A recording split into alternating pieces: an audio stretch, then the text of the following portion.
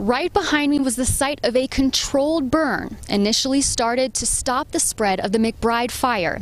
But unfortunately, it crossed this road behind me, Gavilan Canyon Road, late Wednesday afternoon, and now that's forcing a new wave of evacuations.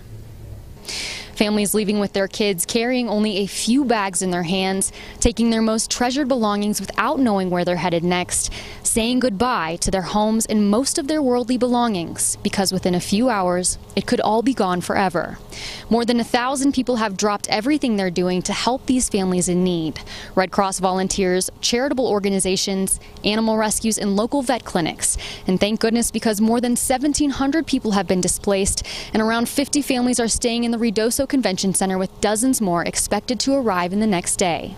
I am praying for the families that of my students, of my coworkers, the the whole community because the loss of the homes that have already happened um, it's it's devastating and especially when you know some of the people that have um, lost their homes, and you know, and there's nothing we can do about it. You know, is except come together as a community, and and it we will.